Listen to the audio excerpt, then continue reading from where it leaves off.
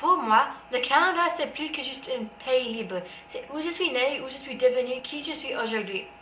Mes parents étaient nés dans une époque de communisme et n'avaient pas une vie complète. Ils sont venus au Canada pour une meilleure vie, c'est ce qu'ils ont obtenu. Plus qu'un simple pays, c'est la maison. Ce n'est pas seulement pour ceux qui sont nés ici, mais aussi pour les immigrants. Pour certains, c'est leur seul foyer. Le Canada est ma maison.